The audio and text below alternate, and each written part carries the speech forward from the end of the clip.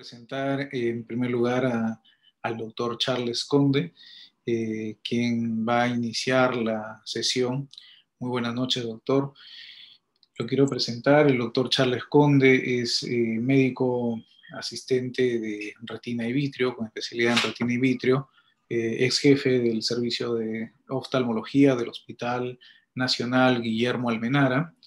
El doctor realizó su formación y especialidad y su especialidad en el Hospital Almenara. Es también profesor de la Cátedra de Oftalmología de las Universidades Ricardo Palma, Universidad de Piura, Herminio Valdizán, director y subespecialista en retina y vitrio, eh, también de la Universidad San Martín de Porres. Es un activo miembro del capítulo de retina de nuestra sociedad y eh, a quien le agradezco mucho la gentileza de, de poder estar esta noche con nosotros.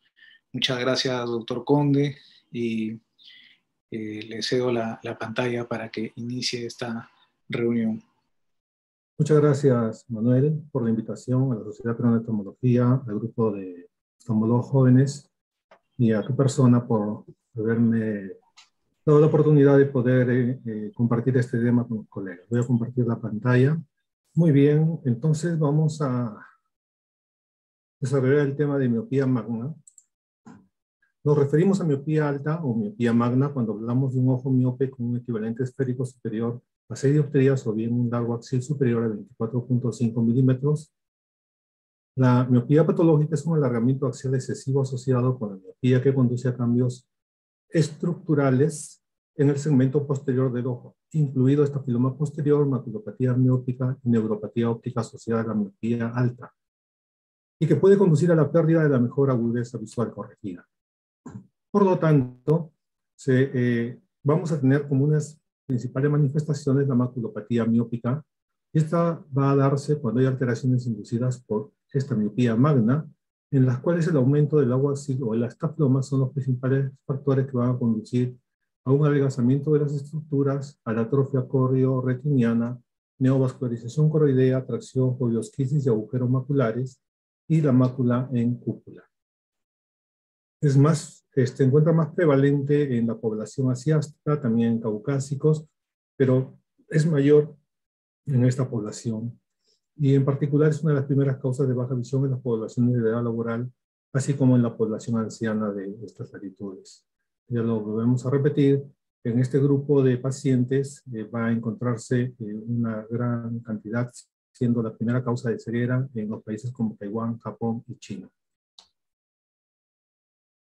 Si hacemos una revisión de la información, tenemos hitos dentro de la comprensión de esta patología que van desde la primera descripción del doctor Curtin en el año 77, posteriormente la propuesta de la clasificación en cuanto a las reconstrucciones de, la de las resonancias magnéticas.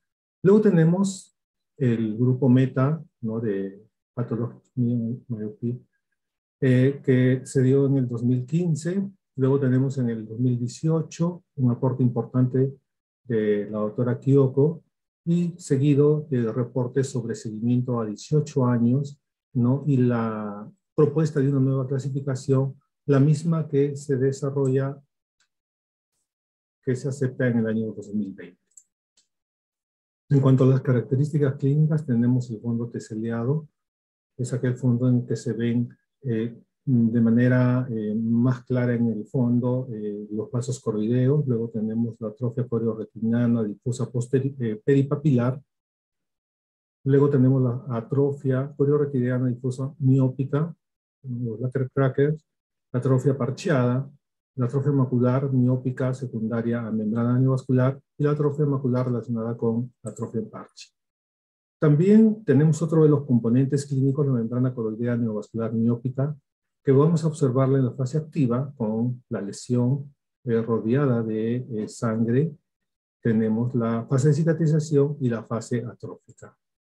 Podemos hacer uso de las tomografías y del OCTA para poder, igual angiografía, para poder observar las membranas neovasculares con el fluido intra y subretinal, las mismas que van a replicarse con la presencia de este, coloración eh, encendida en, el OCTA que nos muestra la presencia de flujo sanguíneo activo. También otra imagen, la que vamos a ver estas membranas coroideas neovasculares activas, subfoveales, que debemos de diferenciarlas de las hemorragias maculares, como es en este caso, que es una ruptura de vasos internos que se reabsorben y quedan, como vemos en F, eh, este, sin lesión y con una recuperación importante de la agudeza visual. Luego tenemos la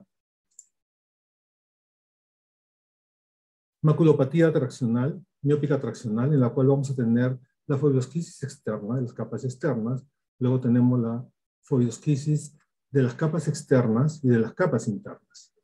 Luego tenemos el desprendimiento fobial y luego el agujero macular de espesor completo.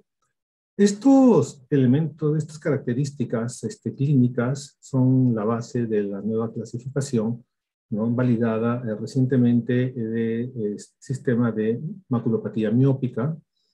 En esta tenemos el componente atrófico, que va desde no lesiones atróficas, el fondo teseleado, la atrofia difusa retinal, la atrofia en parche y la atrofia macular completa. Tenemos el componente traccional, donde no existe eh, quistes maculares, donde hay eh, fobioquisis interna o externa, Luego tenemos en el T2 fobiosquisis eh, de ambos componentes. Luego tenemos en T3 el desprendimiento fobial, en T4 el agujero macular a espesor completo y el T5 el agujero macular con desprendimiento de retina. Y el componente neovascular está dado por no en 0, N0, el no membrana neovascular miópica, N1, el macular crackers, en N2 una membrana activa y en N2S eh, la, la cicatriz. Estos componentes nos van a permitir poder, poder eh, clasificar, ¿no? Por ejemplo, en este caso, en el, en el, en el A, vamos a tener eh, fondo con la clacker, ¿no? Tenemos acá una retinosquisis externa en la tomografía y tenemos ausencia a nivel de este, eh,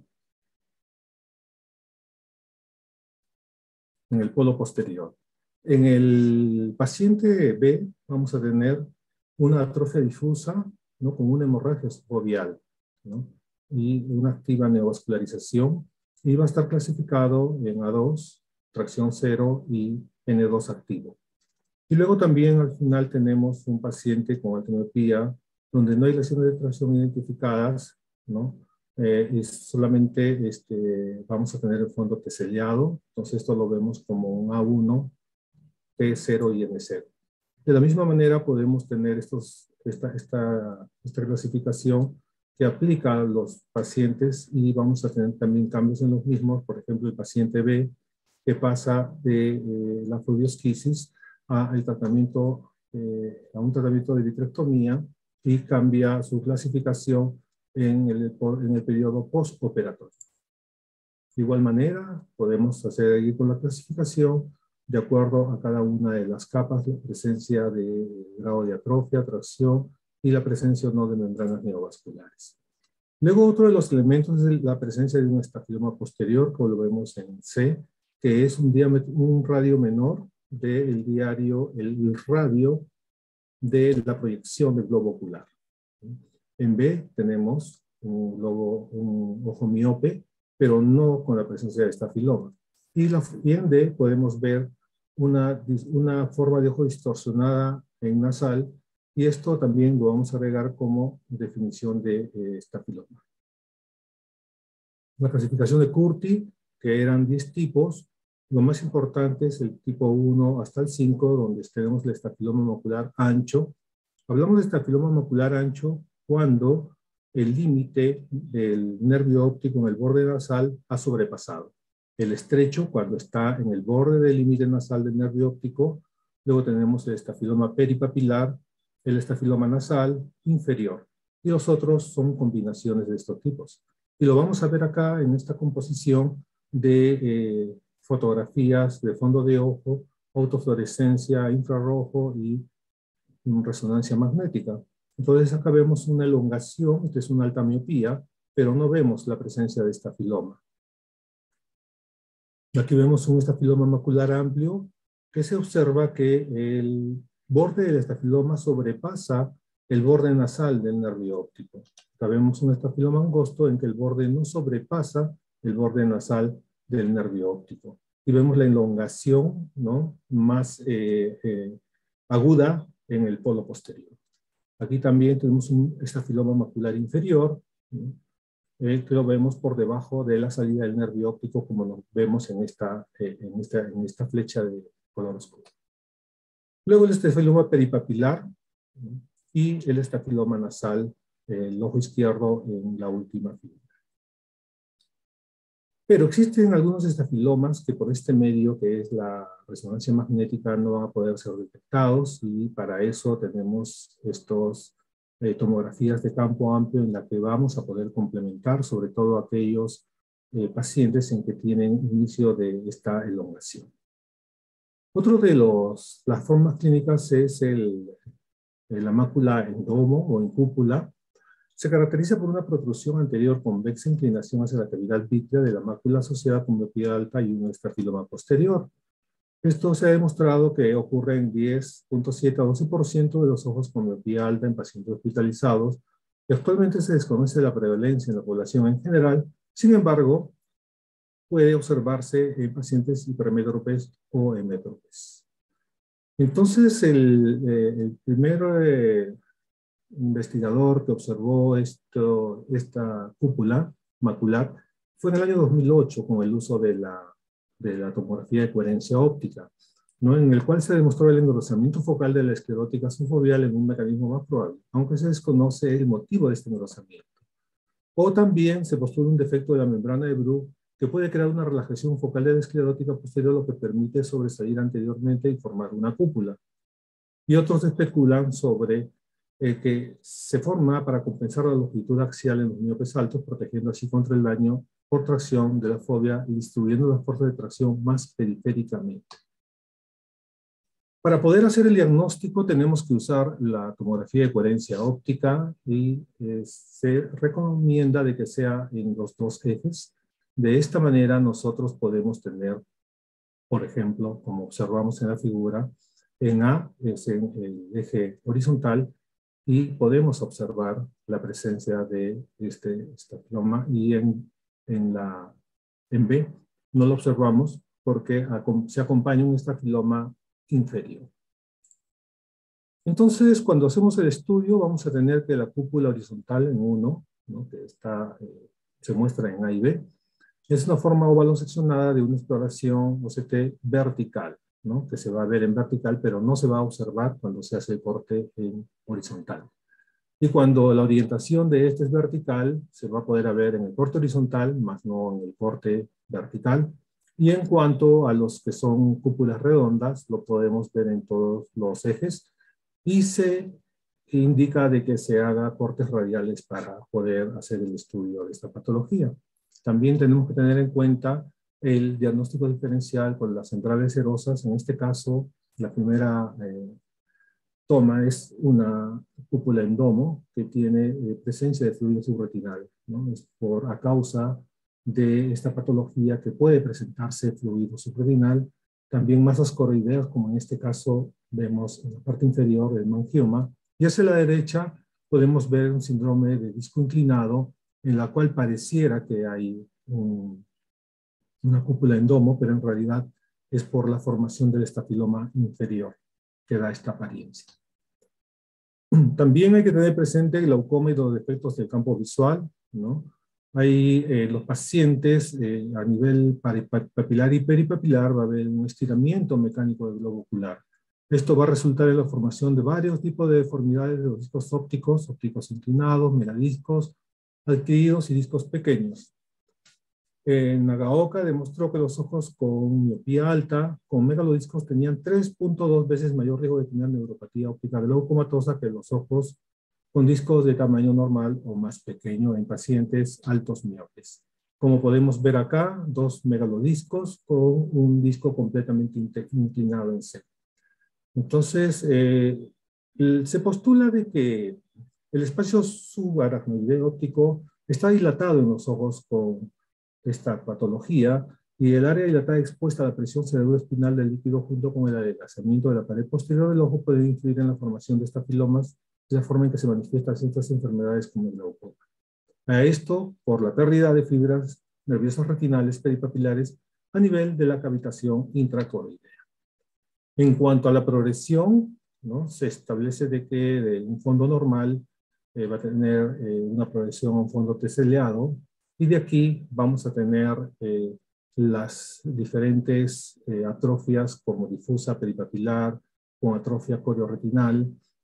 Luego, cuando hay un compromiso a nivel de la mácula, y este compromiso a nivel de la mácula también va a mostrarse por la presencia de lateral crackers, también con atrofias en parche y también puede derivar en una membrana neovascular, que a la larga va a terminar produciendo por el lado de la atrofia en parche al crecer una atrofia en parche de, compromete el área macular y subsecuentemente a una membrana neovascular en su proceso de cicatrización, también va a llevar a una atrofia macular. Algunos casos para compartir, una mujer de 56 años que acude a la consulta con una disminución severa de la agudeza visual del ojo izquierdo y vemos la presencia de una membrana coroidea neovascular. Esta paciente tiene eh, una refracción de menos 9 eh, dioptrías. Eh, le, se le realiza el tratamiento con Avastin y posteriormente vemos que la paciente ha mantenido la eh, lesión que ha terminado con esta formación cicatrizal y se mantiene en el tiempo, ha tenido algunas recidivas, pero en realidad la evolución es una evolución bastante buena para la paciente. Y en su otro ojo, en el ojo derecho, presenta esta, esta, esta crisis que es mixta, tanto eh, eh, interna como de las capas externas. Este vendría a ser una atracción 3. Y lo más importante es el control que se realiza desde el año 2015 hasta el año 2022, en la cual podemos ver de que no existe, no existe eh, una diferencia en cuanto a las longitudes desde eh, un área de referencia hacia la zona foveal. Tal vez la presencia de algunas eh, muy pequeñas, pero la agudeza visual se mantiene bastante bien en esta paciente. Luego tenemos una mujer de 73 años, ¿no? que ha sido... Esta, esta, esta imagen es una paciente ya facomulsificada, ¿no? Ella llegó con una agudeza visual de eh, 20-400 en el ojo derecho y 20-500 en el ojo izquierdo con ojo estenopeico, una gran catarata. Eh, le, hemos, eh, le hemos operado y al mes postoperatorio tenemos estas, estas, fotos en las cuales vemos una atrofia difusa, ¿no? Y tiene una agudeza visual de 20-25 y en el ojo izquierdo de 20-30, con una longitud axial de 29.82 y 31.61. Pero en la tomografía encontramos de que la paciente tiene una este, folioquisis, eh, en este caso internas, en ambos ojos, pero este, esto no representa, digamos, algo mm, eh, de una disminución muy importante de la agudeza visual, como podemos podido ver en 2025 y 2030. Luego tenemos una paciente de 46 años, miren estos lager crackers, y justamente a partir de los bordes de estas rupturas en el proceso de reparación, la presencia de esta membrana coroidea neovascular, ¿no? el paciente llega con una agudeza visual de 20-100, se le realiza el tratamiento y la paciente tiene una visión de 20-20, eh, pasan 7 años ¿no? y luego vuelve a ser una membrana neovascular y vemos los detalles en esta composición de la tomografía, en el OCT angiography, eh, incluso en los cortes eh, de la capa vascular, del complejo vascular. Luego de tres abastines, la paciente se encuentra con una agudeza visual de 20-30. Esto último control ha sido en junio de este año. Luego tenemos una paciente que presenta una membrana neovascular, una longitud de 31 milímetros, y con una agudeza visual de 20-100. Este caso es muy importante porque vemos que la paciente tiene un estafiloma peripapilar también, ¿no? que se observa con múltiples áreas de atrofias en parche, ¿no? con la presencia de esta membrana neovascular, la misma que es tratada con ranibizumab por tres dosis y hay una recuperación importante de la agudeza visual. Se hacen los controles y la paciente se encuentra bastante estable y luego de dos años y cinco meses vuelve a tener otra membrana muy parecida. Esta vez recibe Avastin, ¿no? La paciente cursa con una endoftalmitis. Eh, básicamente, eh, de que se colocó la primera vez el Avastin hizo un poco de tinda, la segunda un poquito más y la tercera ya mostró una opacidad del, del. Lo tratamos eh, con antiinflamatorios, enfocado básicamente a antiinflamatorios, y luego retiramos el componente que quedó de densidad, ¿no? que a veces se cruzaba en la zona central, porque se reabsorbió el, digamos, este componente inflamatorio. Entonces, este, luego de este tratamiento, el paciente ¿no? va a tener eh, tratamiento entre abril y diciembre, cinco dosis de ranibizumab, y vamos a tener una agudeza visual de 20-30, ¿no? que luego se va a mantener hasta el año 2020 presentándose otra recidiva luego de tres años y cinco meses. Y estamos en tratamiento con este paciente, pero esta última imagen eh, ya eh, nos, nos muestra de que estos espacios tal vez hay una combinación de remanente, ¿no? Estamos colocándole cada dos meses, pero yo creo de que aquí ya debe haber un componente también de formación de fisis. Este es un joven ¿no? de 17 años, eh, que tiene una refracción de 22 con 3 de astigmatismo, de menos 22, en el ojo izquierdo menos 21, tiene una agudeza visual de 20-30 y 20-40. Estas son sus tomografías, en las cuales vemos que el tejido a nivel de la fovea está bastante bien y se observa claramente en este resplandor la presencia de este, esta cúpula y vemos que tiene un estafiloma peripapilar. Lo que nos llama la atención en este paciente es que en dos oportunidades presentó una disminución de agudeza visual y el incremento de su, de su refracción. Entonces, eh, este paciente a la fecha eh, había tenido un, eh, un incremento ¿no? de más, digamos, menos 6 dioptrías en el, ojo derecho y en el ojo izquierdo de menos 8.75 dioptrías. Adicionalmente, como vemos en estas flechas en rojo, ya se observa acá la presencia de foliosquisis externa. En conclusión, podemos decir que la miopía magna es una patología que requiere ser diagnosticada oportunamente y establecer un plan de trabajo a largo plazo la presencia de la miopía patológica es un riesgo en la progresión y la presencia de sus complicaciones relacionadas a la pérdida de la agudeza visual y el tratamiento oportuno de las complicaciones están relacionadas a un mejor pronóstico visual. Bien, muchas gracias. Lo que he querido compartir con ustedes. Muchas gracias, doctor Charles. La verdad es que ha sido muy, muy ilustrativa su, su ponencia, eh, muy enriquecedora. Eh, sobre todo con, con, la experiencia de los casos que, que ha presentado. Pues la, miopía magna ¿no? Eh, está definida como aquella que es mayor de 6 dioptrías o una longitud axial mayor de 26, pero la degenerativa patológica es cuando ya aparecen complicaciones como algunas de las que usted mencionó, como la maculopatía miópica eh, o este, complicaciones que, que disminuyan la, la, agudeza visual y son múltiples, ¿no? Podríamos eh, hablar muchas horas sobre todas las complicaciones que, que pueden coexistir en, en, un paciente con, con miopía magna, ¿no? Eh, sabemos que este defecto en el colágeno hace que eh, estos pacientes sean una, una, caja de Pandora, no se sabe en qué momento va a detener su, su crecimiento, ¿no? Y tampoco eh, qué complicación de, todo el abanico de complicaciones que puede haber. Eh, los intentos de clasificar, eh, como los que usted mostró, ayudan mucho a, tener un estadiaje correcto y este, hacer un, seguimiento adecuado, porque, como mencionó, este, estos pacientes no dejan de, dar cambios, ¿no? de siempre tener algún, alguna variación. Quiero dar la bienvenida también a, Eduardo Sanz, quien, al doctor Eduardo Sanz, que nos va a acompañar esta, esta noche. para comentar sobre, va a dar una ponencia sobre el manejo del desprendimiento de retina en, miopía magna. Quiero presentar a, Eduardo. el doctor Sanz es un médico oftalmólogo que realizado sus estudios de especialidad y fellowship en el Hospital Elia Santana, República Dominicana.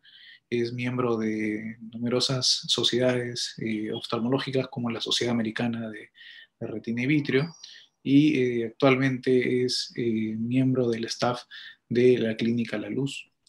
Eduardo, te agradezco mucho la, generosidad de estar esta noche y este, al doctor Charles Conde le invito a, que nos acompañe para la discusión final eh, y este, a todos los que están presentes pueden eh, vertir sus preguntas, sus consultas al chat para poder comentar sobre esta patología al final de la presentación. Muchas gracias, este, Eduardo, y te dejo la pantalla para que inicies tu presentación. Eh, muchas gracias por tu presentación, Manuel, y excelente ponencia, doctor Conde, siempre en verdad, una excelente presentación de parte suya. Eh, yo voy a entrar en la parte quirúrgica de lo que es el manejo de la miopía alta o miopía magna de forma patológica. Y para entender esto un poco, he tratado de, poner el contenido en, los, las siguientes partes. ¿no? Pues no nos olvidemos que el paciente de miopía alto, que hace la parte patológica, eh, tiene tanto riesgo de desarrollar patología retiniana a nivel periférico, pero también a nivel macular y como ya explicó muy bien el doctor Conde, también a nivel del nervio óptico. Es por eso que el contenido es separado de esta, de esta manera. Eh, ya por definición, ya se explicó bastante bien lo que es la miopía más, la miopía alta, y asimismo su clasificación, que existen varios tipos, ¿no? pero obviamente acá yo estoy presentando eh, de forma bien abreviada la clasificación en estas cinco categorías y en cualquiera de ellas se puede presentar lesiones plus que el doctor ya, habló muy bien. Así mismo ya se hablaron de casos clínicos y ya pasando a la parte eh, quirúrgica, pues vamos a, a, explicar por qué el paciente con miopía alta desarrolla más que nada estas enfermedades a nivel eh, macular y periférico, ¿no? que requieren algún grado de cirugía. Acá tenemos la imagen eh, a la parte que estoy ahorita, cuando estoy poniendo el cursor del, mouse. Este es un globo ocular normal. Vemos que el globo ocular de una forma más, más fácil para explicarle a todos los que estén acá, sean residentes o estudiantes de oftalmología. El globo ocular normal, pues vamos a tener lo que es como una esfera. Es redondo, ¿no? Es, eh, y su mácula, pues vemos que también tiene una configuración bastante eh, conocida, ¿no? a, nivel, a nivel de un corte histológico de un mosete macular. Pero en un paciente eh, miope alto, estos pacientes no tienen globo ocular de esta manera, no lo tienen más que nada en la forma elongada o decirlo hacia la forma hacia la forma de un huevo, ¿no? Entonces, esta parte eh, posterior se vuelve también más cóncava y eso conlleva que la mácula también se enlongue en cierta manera y sus sus tejidos también, ¿no? como es la, la retina neurosensorial, la esclera y la coroides. Y más aún esto se agrava si el paciente presenta cierto grado de estafiloma posterior. El doctor Charles Conde ya lo, lo, explicó bastante bien. Hay varios tipos, pero uno de los tipos hace que también esta elongación o concavidad que se va a formar en la parte posterior sea de forma incluso asimétrica. ¿no? Todos estos cambios, que es el aumento de la longitud axial, la elongación, va a, facilitar que el paciente no solamente eh, aumente su riesgo de, sufrir ciertas enfermedades a nivel macular y periférico, sino que también el vitrio en estos pacientes miopes altos se despegue en edades más tempranas que un paciente normal y asimismo eh, a la hora que se comienza el vitrio a despegar, no solamente también se despegue, sino también ah, inicia el proceso más temprano de liquefacción, sin embargo, la diabetes posterior muchas veces no está eh, totalmente despegada, aún sigue siendo muy firme, eh, estando unida a los vasos retinianos, a los vasos este, de, la mácula, y esto va a conllevar a que se originen ciertos procesos o factores de tracción. Esta tracción es la que va a ocasionar, al fin y al cabo, los, los problemas en estos miopes altos, tanto a nivel macular como a nivel periférico.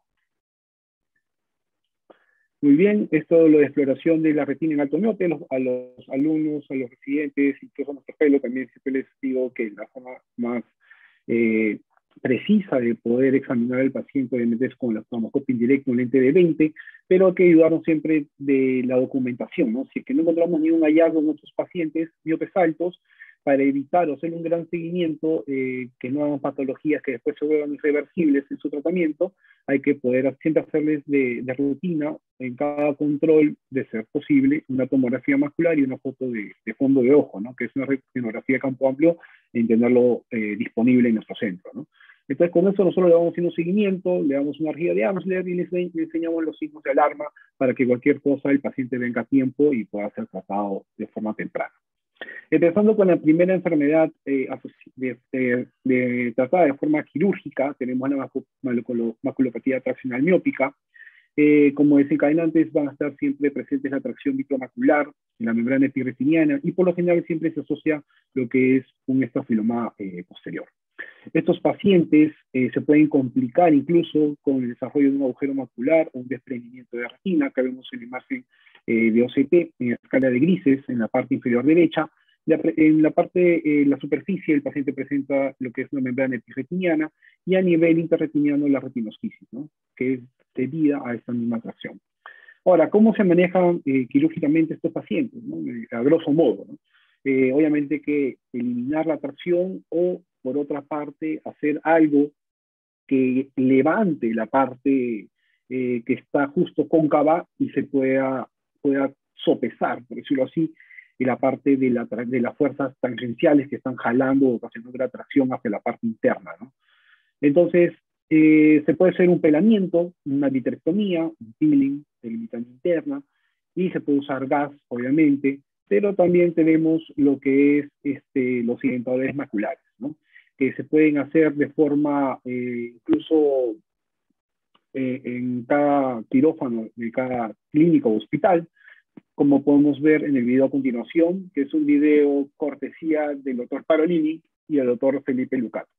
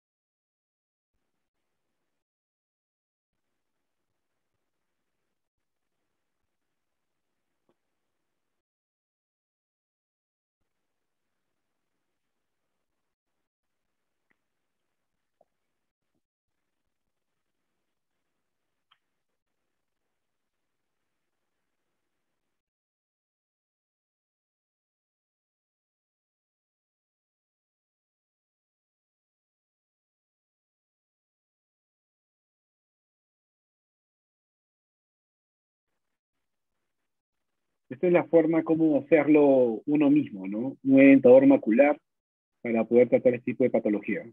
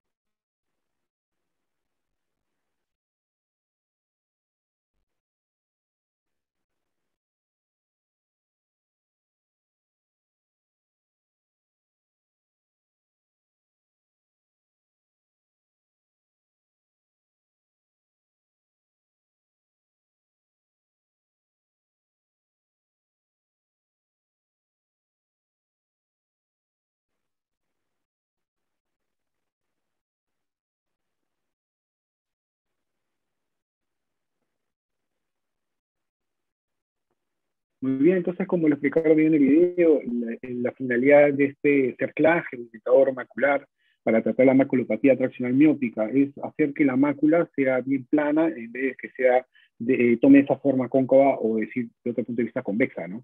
Entonces, de esa manera se trata eh, la maculopatía traccional miópica, incluso como vimos en el video, sin necesidad de hacer una vitrectomía, solo con luz de chandelier, la luz de chandelier para poder ubicar bien donde nos, cuando nos encontremos inventando la zona macular y solo trabajarlo de forma eh, eh, exterior o externa, ¿no? La, la, cirugía. Muy bien, entonces pasando, continuando con las tres enfermedades que van a verse muy asociadas en los pacientes que tienen, eh, hacen la forma patológica de miopía alta, también tenemos síndrome de tracción vitromacular y membrana epirretiniana. Siempre va a haber una controversia en lo que es la cirugía, si que vamos a asociarla a un pelamiento limitante interno o no, y así mismo, así mismo va a ser un manejo un poco difícil cuando el paciente está asociado a un estafiloma posterior, debido a que muchos de nuestras pinzas, a la hora que queremos pelar a nivel macular, no van a llegar hacia la mácula. Entonces, un tip aquí es retirar, obviamente, el trocar y de esa manera eh, podemos llegar más hasta el fondo con la pinza para poder pelar o hacer un pelamiento adecuado en estos pacientes con una longitud axial muy aumentada. Ese es un caso eh, mío, un paciente miope alto que hizo eh, tanto síndrome de tracción vitromacular como membrana epirretiniana, y este paciente eh, tenía una miopía más o menos de menos 7.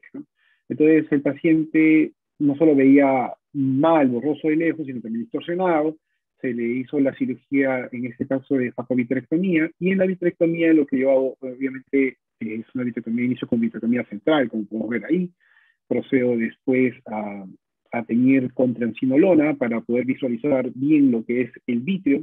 Yo uso la transinolona prácticamente en todas mis cirugías. ¿no? Y como el paciente tenía un síndrome de tracción vitromacular, entonces primero inicio con una, una vitrectomía circunferencial. Lo que trato es liberar toda la violencia posterior que está unida al, a la mácula, ¿no? para no traccionar más y originar de repente lesiones que, que no estaban previamente. Entonces, de una vez liberadas todas estas fuerzas ¿no? de la galería posterior unida a, a la mácula, la desindomización vitromacular, eh, lo verifico a través del, soft tip, que esté bien liberado, y de esa manera procedo a retirar toda la galería posterior que está a nivel eh, macular. Solo con estos pasos se liberan lo que es el síndrome de tracción vitromacular, pero todavía queda pendiente lo que es el manejo de la membrana epirretiniana. Entonces, para operar la membrana epirretiniana, hay muchos cirujanos que, ustedes de repente han escuchado, o muchos que están entrando recién este tipo de cirugías, utilizan el azul de tripán. Yo en lo personal utilizo el azul brillante para hacer el pelamiento a través de la técnica de tinción negativa. Y a través de la tinción negativa, como vamos a ver ahora, que voy a, a tener en el video, comienzo a pelar todo lo que es la membrana epirretiniana. Entonces, toda la parte que no ha teñido es la membrana epirretiniana y la parte que ha teñido de azul es la limitante interna. Entonces, me voy a más o menos al límite, al área límite, y ahí es donde voy a empezar a pelar y de esa manera comienzo a pelar de forma circunferencial la mácula y retiro toda la membrana epirretiniana. Así es como no solo mi persona hace el manejo de estos pacientes que tienen esta patología eh, combinada, miopía alta, sino también otros eh, doctores con los cuales yo me he formado. Entonces retiramos eh, de esta manera, ¿no? de forma circunferencial, la membrana epirretiniana, siempre con mucho cuidado en la periferia, no ocasionar un desgarro, un agujero, ¿no? porque es muy, mucho la adherencia que tiene esta membrana epirretiniana también. Y finalmente termino haciendo eso, dejo aire y termino en este paciente poniendo gas ¿no? Para que la mácula vuelva a su forma eh, óptima. Muy bien. Se retira todo ese exceso ¿no? de ley posterior, también lo que está eh, a nivel de la periferia, se pone lente y dejo en este paciente gas, como vamos a ver en un rato, ahí estoy dejando aire, y aquí vamos a poder ver, ahí pongo gas, SF6 y vemos el pre y el postoperatorio al mes. ¿no? Muy bien, entonces para no eh, ya estar mucho en este, en este tema, vamos a pasar a lo que es el agujero macular miópico. En la actualidad, el agujero macular miópico viene a ser eh, un desafío en esos tipos de pacientes, debido a que el pegamiento macular es bastante ya difícil en estos pacientes miopes altos, por los mismos temas que les dije, pero también porque muchas veces está asociado a un desprendimiento de la retina o también tiene una longitud axial mayor de 30 incluso. Entonces, cuando el paciente tiene estos eh, factores, eh, ya son de mal pronóstico de por sí. ¿no? Entonces, acá estoy presentando un paciente en el cual presenta un agujero macular asociado a una membrana pertinena, agujero bastante grande, paciente miope también, en este caso de menos 7. Vemos que la mácula incluso está inclinada, ya saltándome los, los pasos previos, eh, acá ya, he hecho la tinción, a través de tinción negativa retiro la membrana epirretiniana y a través de, con el azul brillante, ya comienzo a retirar lo que es la membrana limitante interna. ¿no? La voy pelando hasta crear un flap, como podemos ver acá en el video, y ese flap lo utilizo para hacer la técnica de flap invertido y de esa manera poder cerrar el agujero macular. Ahí vemos el fondo de ojo del paciente miope alto, ¿no? Lo disminuyo el tamaño del, del flap con el vitrófono y lo acomodo con el soft tip, que es la punta de silicón, para que se pueda quedar tranquilamente el flap dentro del agujero. Hago el intercambio, dejo gas eh, este C6 y acá vemos el pre y acá el postoperatorio del paciente. Ahora, ¿qué pasa eh, si el paciente tiene un agujero más grande? ¿no? Tiene, por ejemplo, un agujero más de mil micras, ¿no? Y el paciente es miope, muy miope. Este paciente es miope de menos 14, ¿no? Entonces eh, decidí ponerle lo que es la membrana amniótica, ¿no? yo lo tiño siempre para con azul brillante afuera de la membrana para poder diferenciar el amnios. Y como podemos ver, se achica bastante el agujero, obviamente en el postoperatorio del mes. Vemos asimismo que, que lo que hacen las propiedades de la membrana amniótica es hacer que las células migren, ¿no? Y de esa manera pueda cerrarse y después, más adelante, eh, optar por tener una configuración muy parecida anatómicamente a una mácula normal. El paciente eh, que acabo de comentar, en este video que acabo de presentar, pues mejoró de 42 a 2 metros a 2400. No es un gran cambio, obviamente, pero el paciente está bastante feliz, de todas maneras ya puede volver a ver la letra. Hay otro manejo, que es, este es un video cortesía del doctor eh, Nacín Abreu, él es oftalmólogo y retinólogo de República Dominicana, el Hospital Elías Santana, donde me formé, y él lo que hace es el uso del autoinjerto de retina, ¿no? Entonces, este es un agujero macular bastante grande también, gigante, de micras. Entonces, lo que él hace es, como vemos en el video, tomar una parte de la retina, ¿no? Eh, que más o menos calce lo que va a poner dentro del agujero macular y retirando esto eh, en forma bimanual con el uso de una luz de chandelier, eh, colocan lo que es el inserto, el autoinserto de retina dentro del agujero macular. Para eso él pone perfluoro, que es un líquido pesado que nosotros los cirujanos de retina usamos mucho, para poder tener estabilidad a nivel eh, retiniano, sobre todo el polo posterior. Es más común usado, ser usado en, obviamente en desprendimientos de retina, pero acá en estas cirugías de agujero macular ayuda bastante para poder tener estabilidad a la hora de poner lo que es el autoinjerto. ¿no?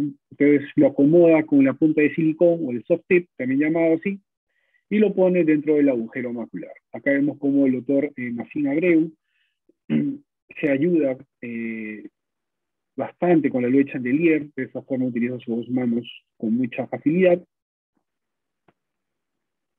Lo acomoda bien el, este autoinjerto, trata de poner los bordes por debajo de incluso del agujero macular y hace aspiración del, de perfluoro, ¿no?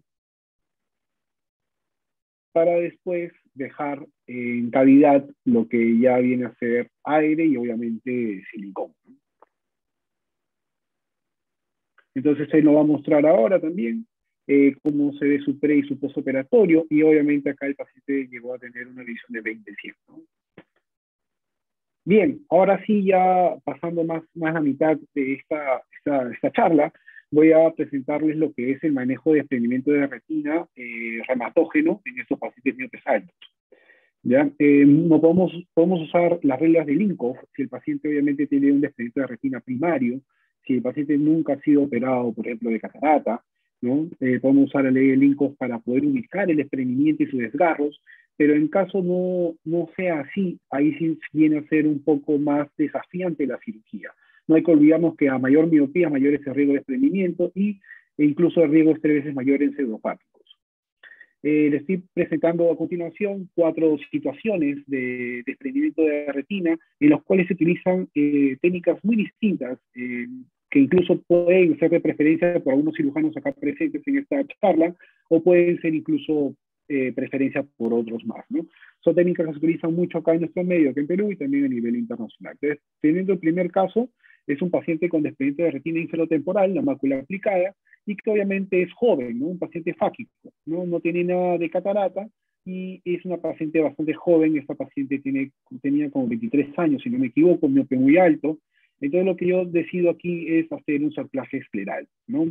Hago la piritomía, eh, separo bien los músculos, ¿no? pongo la, la seda para poder este, separarlos bien, y una vez ya he tenido todos los músculos, eh, procedo a poner mi luz de chandelier para poder ubicar bien este, dónde voy a dar la crioterapia, ¿no? dónde están los desgarros. Ahí vemos bien cómo puede la luz de chandelier puede ubicar bastante bien dónde están los desgarros. En este paciente tenía dos desgarros, ahí estoy intentando un poco para poder visualizarlos mejor. Muy bien. Ahí se, ahí se visualizan claramente los dos. Hago un pequeño drenaje externo, ¿no? Y de esa manera voy retirando todo lo que es el líquido subretiniano a, a nivel escleral. Sigo eh, intentando bastante para que pueda drenar el líquido subretiniano y procedo a usar la crioterapia a nivel de los desgarros, ¿no? Para que haya una retinopexia o un pegue de lo que es la retina con, con el epitelio pigmentario de forma instantánea. Ya finalizando esto, eh, procedo a poner la banda de silicón y obviamente a, a, suturar la, la, banda de silicón a la esclera y obviamente intentar bien, ¿no? Como podemos ver acá en el video. Y ahí procedo a ajustar un poco más la banda de silicón para que el paciente quede bastante estable. Y con la retina bien pegada, ahí vemos la retina bien indentada en la periferia y obviamente eh, los desgarros que están bien atrapados por ese anclaje escleral.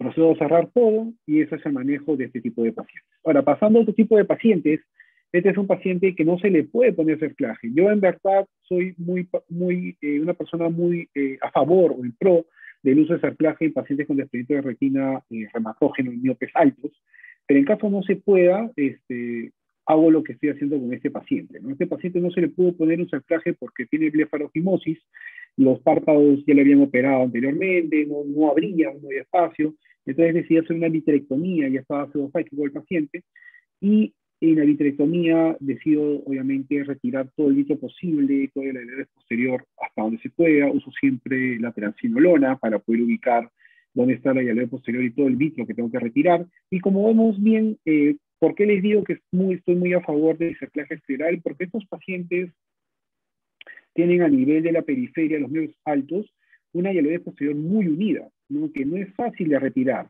Muchas veces incluso mientras vamos jalando vamos haciendo desgarro. Entonces, cuando vemos que no se puede hacer eso, eh, lo que yo hago es hacer una vitrectomía tanto en la parte anterior y posterior del, del, desgarro y tratar de dejarlo libre, ¿no? Para que no tenga ni una tracción ni una adherencia más a la periferia ni anterior ni siquiera posterior, ¿no?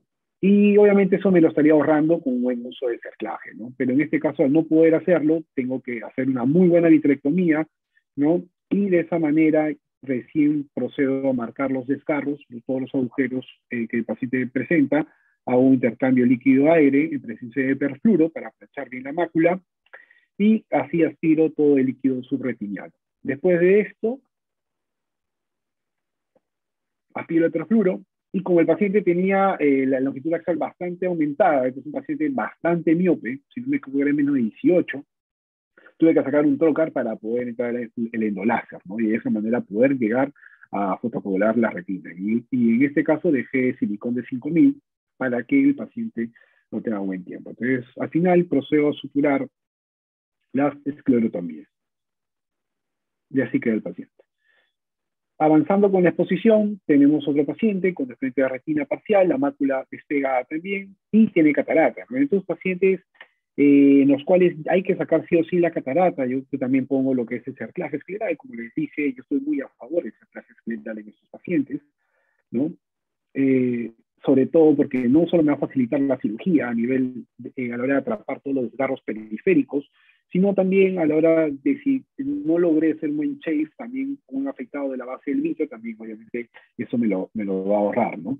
Y lo otro es, en caso de, la presencia de progresión vitroretiniana, que será para otra exposición, este, nos ahorra bastante también ese problema, que es una complicación del desprendimiento de retina. Entonces, en este paciente pongo la, la infusión a nivel superior, eh, hago una vitrectomía central, ya los mismos pasos que han visto ustedes anteriormente, Bien, y obviamente vemos que toda la retina prácticamente está desprendida, una retina bastante bulosa, bastante levantada. Uso la transinolona como en todos mis pacientes y de esta manera procedo a retirar toda la red posterior y hacer toda la vitrectomía completa. Entonces acá vemos lo mismo que el paciente anterior, vemos que la red posterior en la periferia es bastante herida, ¿no? Y hay que tener mucho cuidado a la hora de hacer estas vitrectomías porque Aquí es donde si no retiramos bien el vitrio va a ser una causa o un riesgo mayor para que haya un redesprendimiento.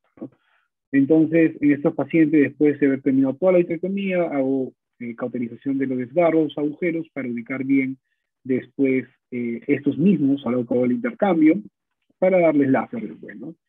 Ahí vemos cómo tiene perfluoro, entonces el paciente procede a hacer el intercambio de líquido-aire, pero previamente pongo el lentito ocular porque ya voy a pasar al medio aire.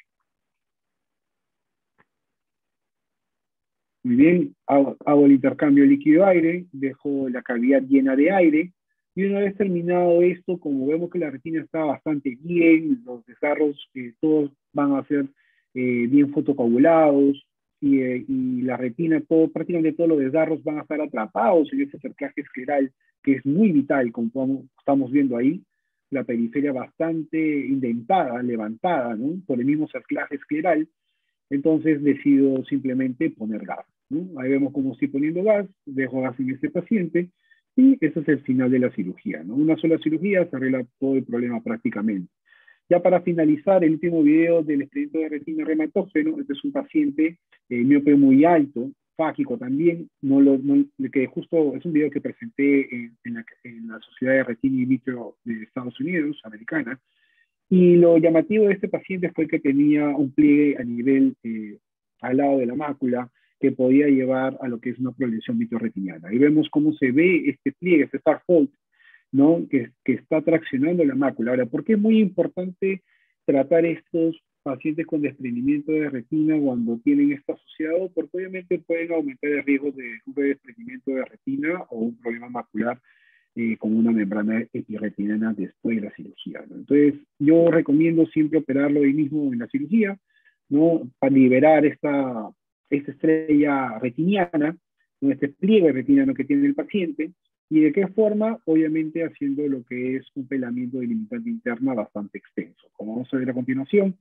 eh, decido hacer un pelamiento bastante extenso de la mácula para, hasta esa área para que se puedan liberar todas esas fuerzas traccionales y así evitar un redesprendimiento de retina o la formación de una membrana retiniana macular de la cirugía.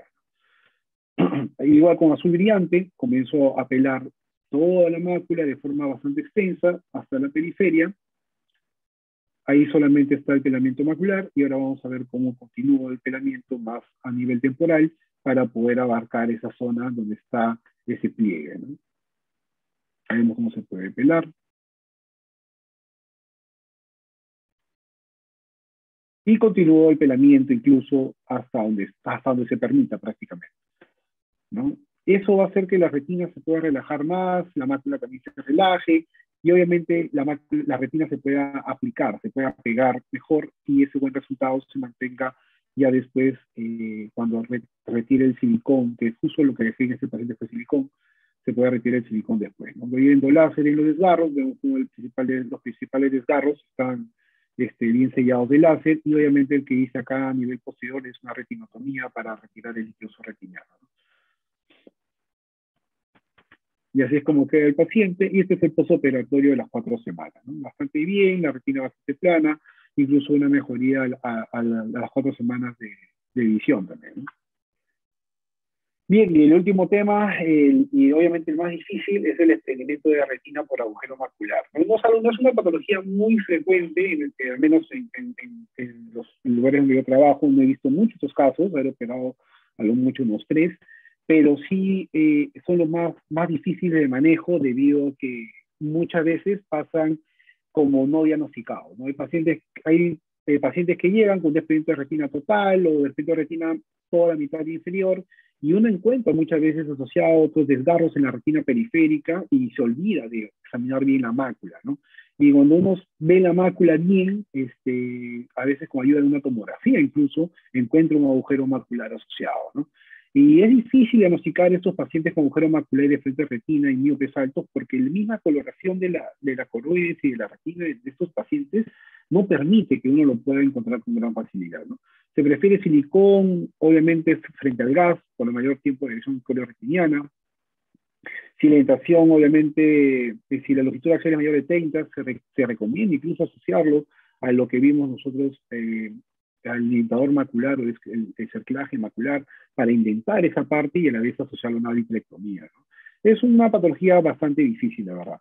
Acá presento un caso de los míos, obviamente, donde se le, se le presentaba un agujero macular al paciente, miope muy alto, asociado a un desprendimiento de retina. Entonces, lo que yo procedo acá a hacer es un pelamiento macular, vemos que la retina está desprendida, ¿no? Y hago la técnica del flap invertido para poder llenar con el mismo, la misma limitante interna el agujero macular y de esta manera cerrar ese agujero macular, ¿no? que en sí viene a ser el causante del desprendimiento de retina.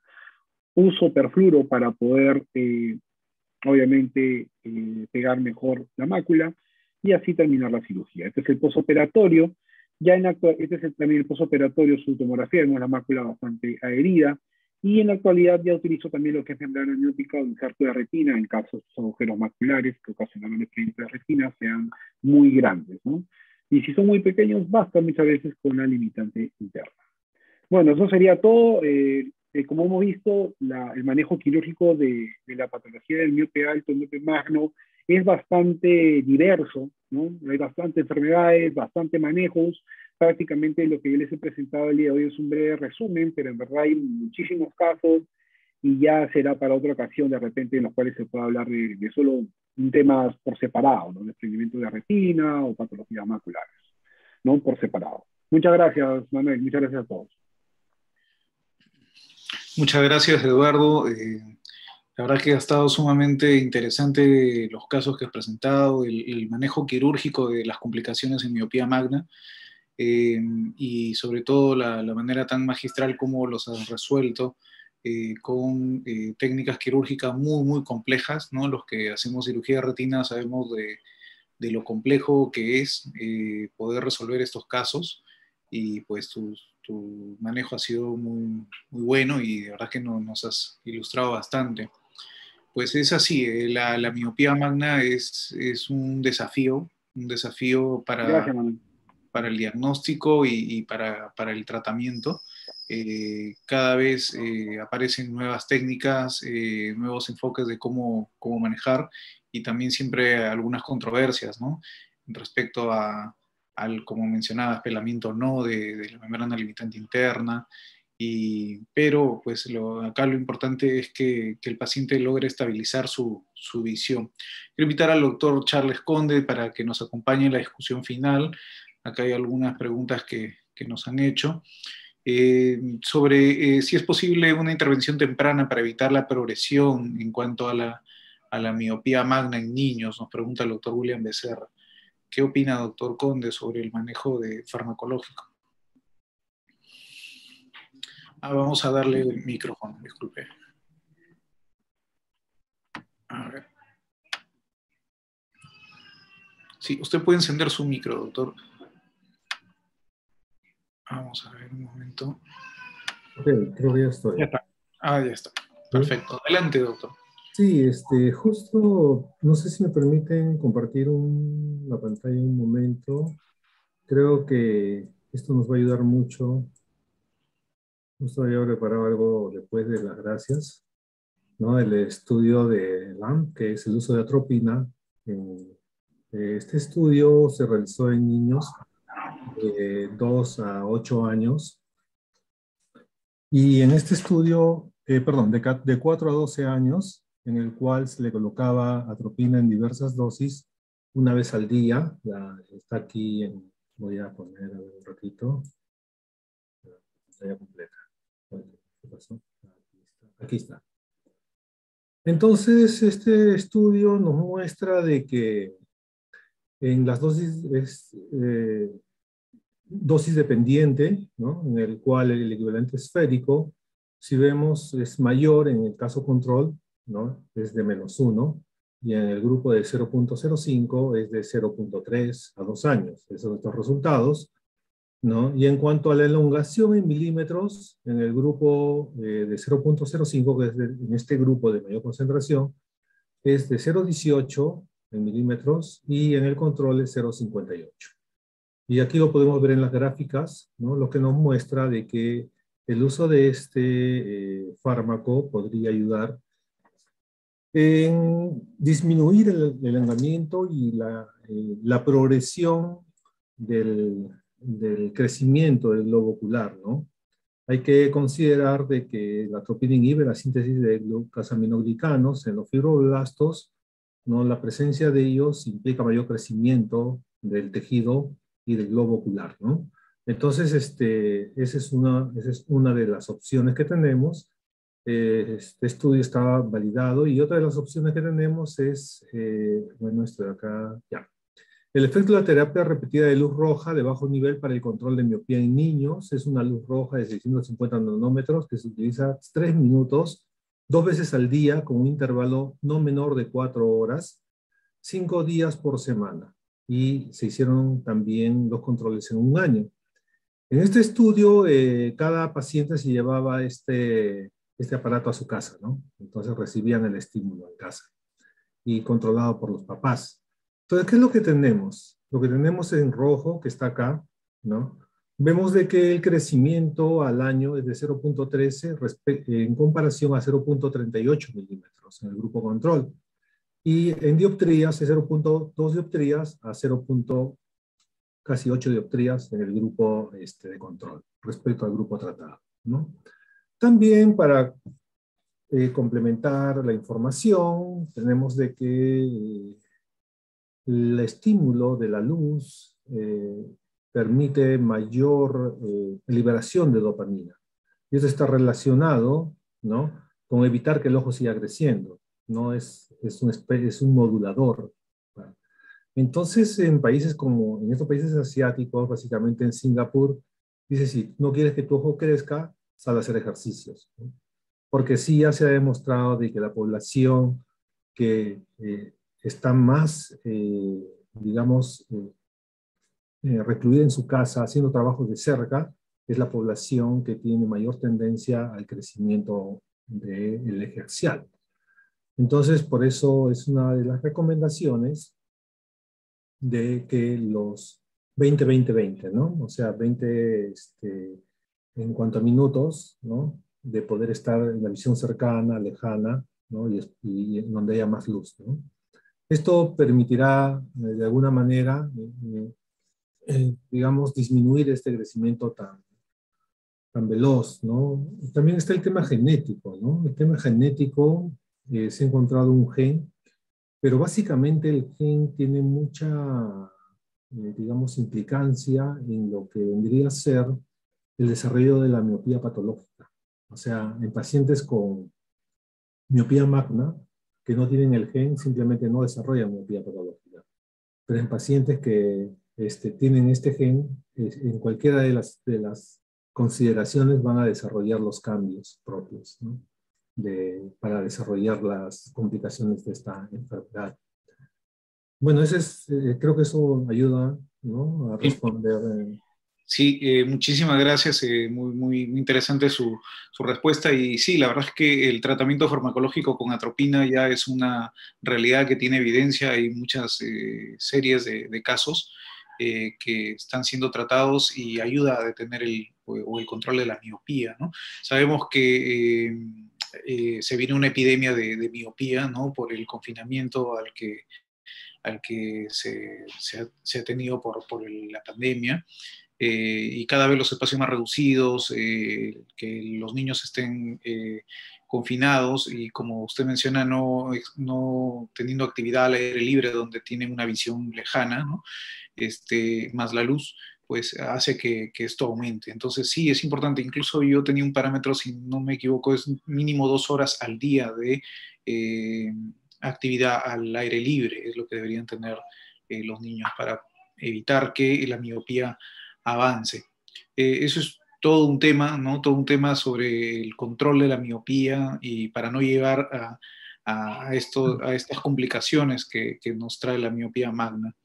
Eh, acá tengo algunas preguntas, eh, una del doctor Francisco Cirineo, muy, muy interesante, dice, para prevenir el desprendimiento de retina en miopes altos y en pacientes que van a ser operados de catarata, ¿cuál, ¿cuáles son los consejos?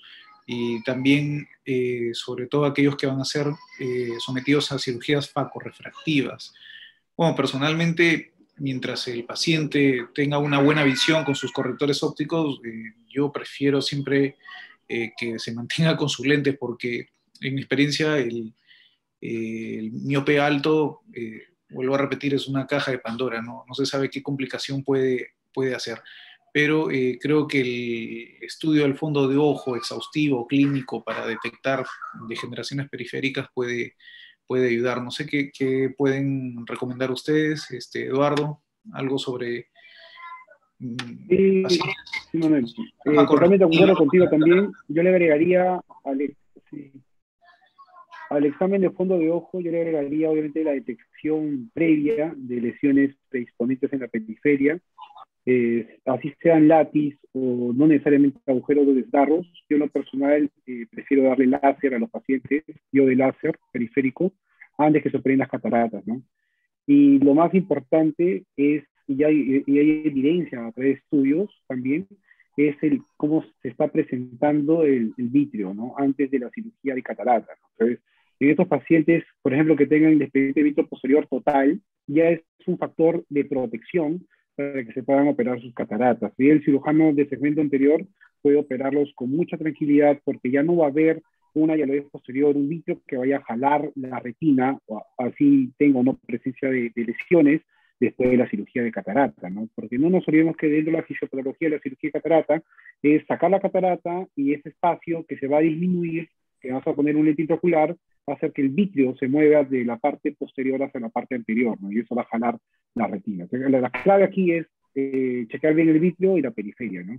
Y para los pacientes con facos refractivas en miopes altos, es bien hacer las mismas recomendaciones, pero obviamente yo en lo personal, eh, como estabas hablando de repente un lente premium en un miope alto, eh, yo no lo recomendaría tanto el lente premium, al menos que el paciente sea una persona muy educada y tenga una regía de Ansler o esté muy pendiente de que en un futuro, eh, si le aparece una membrana neovascular con idea, eh, se trata a tiempo, ¿no? Porque si no, se va a echar todo a perder con su lente primero.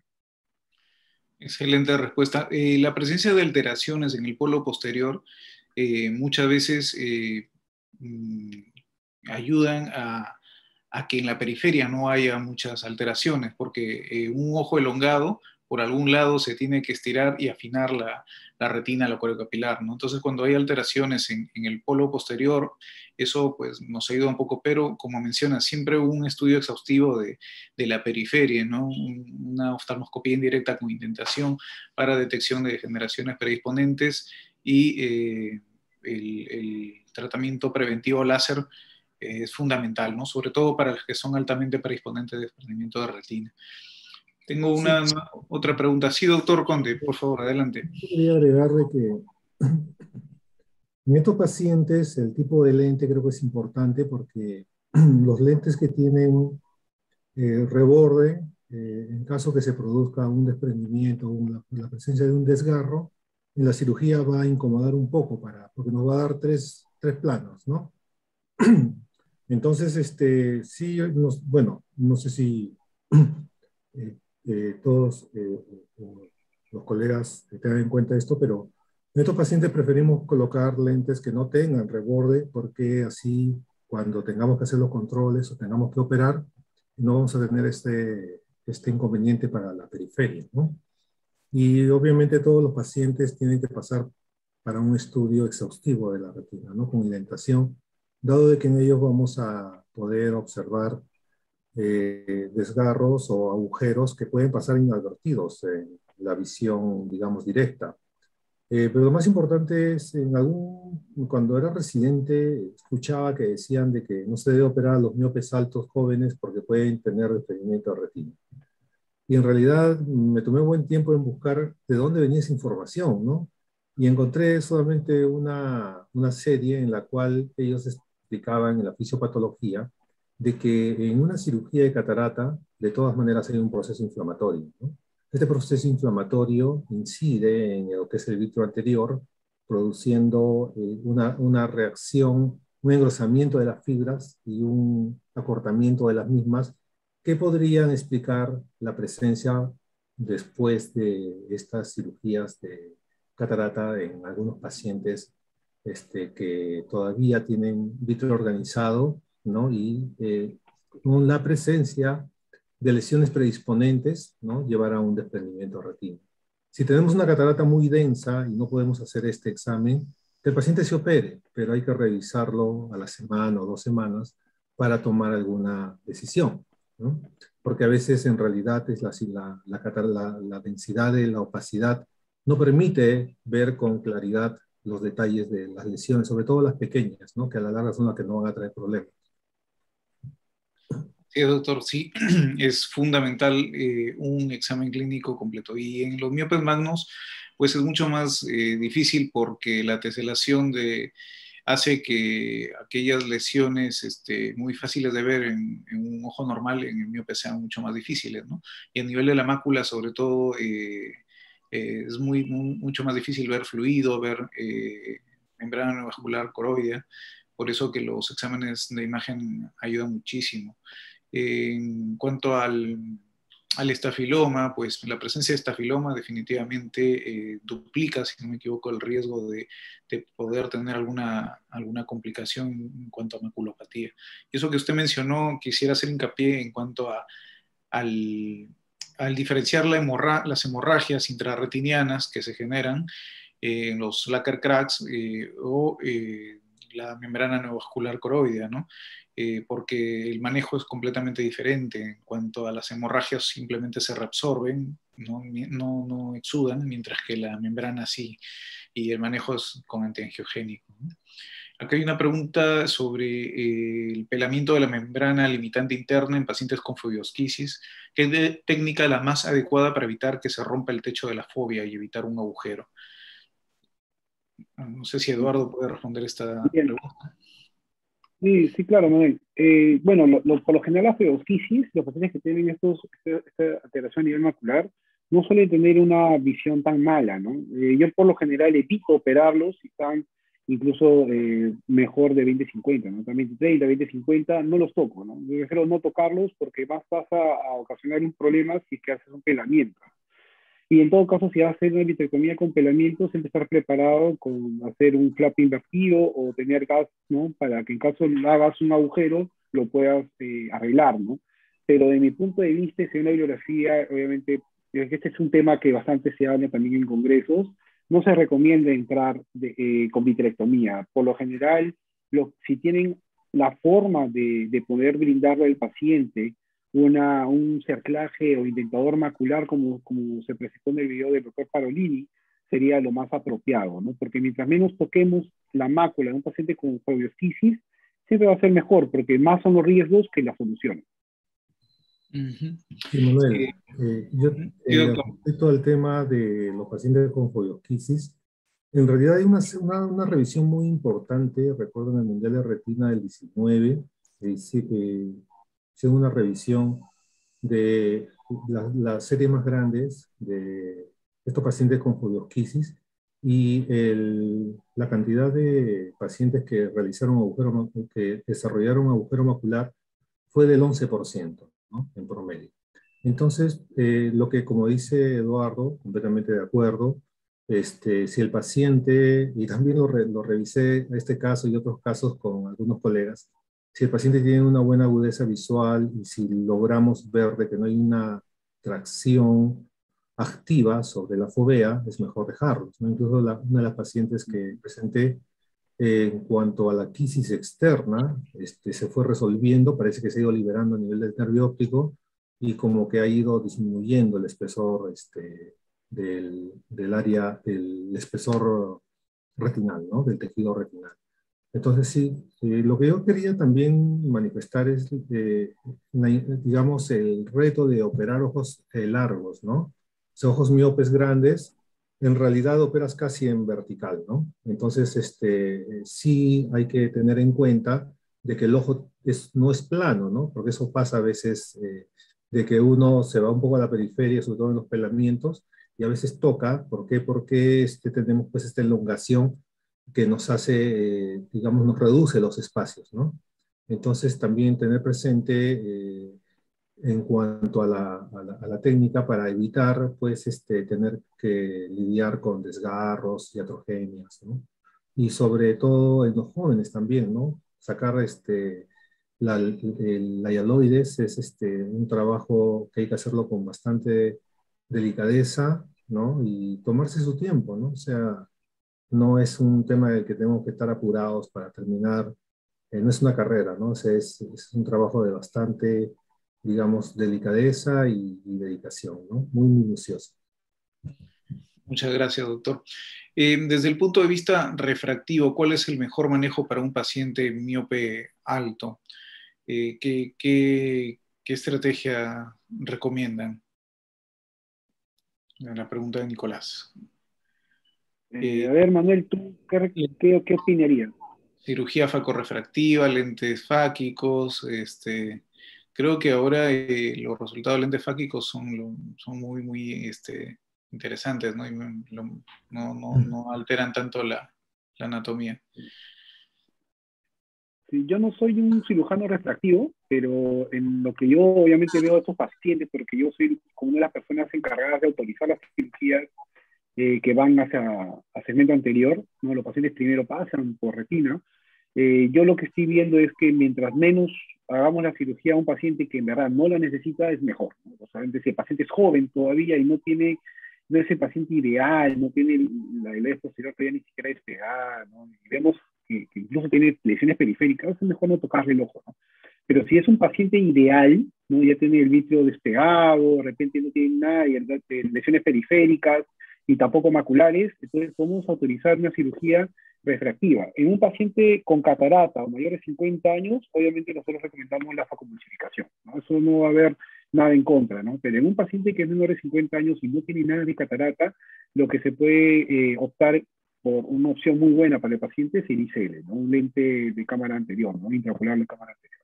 Eso es eh, lo que nosotros eh, estamos, lo que manejamos ¿no? para estos tipos de pacientes que tienen la medida muy alta. No sé qué opinan ustedes. Sí, completamente de acuerdo, ¿no? Esa es una buena alternativa. Incluso este, algunos piensan de que el, clampaje a nivel del iris pueda incomodar, pero el paciente dilata muy bien, o sea, no es ningún inconveniente, ¿no? Siempre y cuando obviamente el espesor de la cámara y todas las condiciones se den para que el lente esté colocado y no produzca, no, tenga, no tengamos problemas con el paciente, ¿no? ¿sí?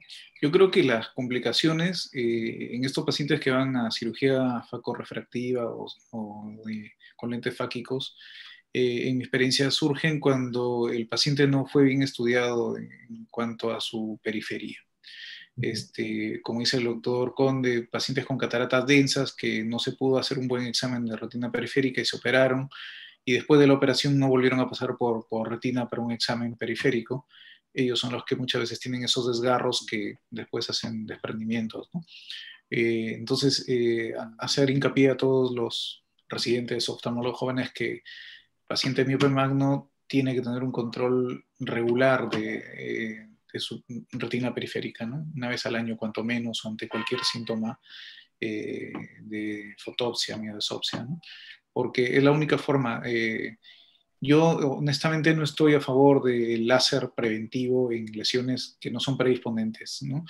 Eh, pero eh, sí es una, una, alternativa también, ¿no? Porque también he visto que eh, las complicaciones del, del, láser tampoco son, son muy este, fáciles de llevar. Entonces, eh, en mi caso, yo sí prefiero hacer láser periférico en cuando encuentro eh, degeneraciones predisponentes, ¿no? tipo eh, latiz, microagujero, eh, pliegues. Así es. ¿Alguna acotación más?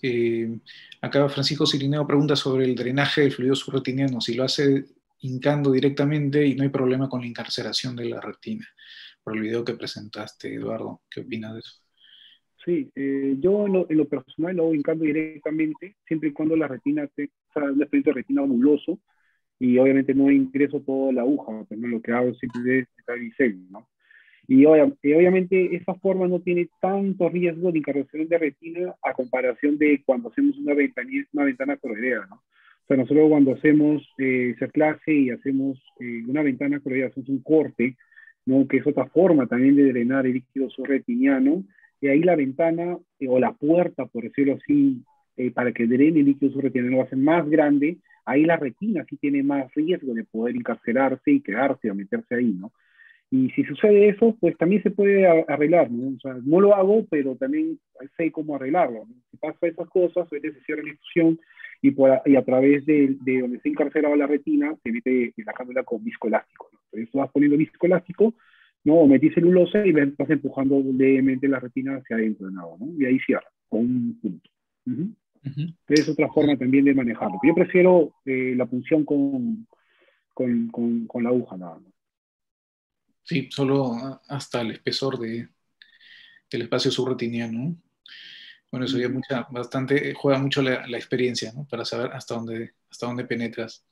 Creo también que ahí hay que tener en cuenta eh, la posición del desgarro, donde se encuentra el fluido, ¿no?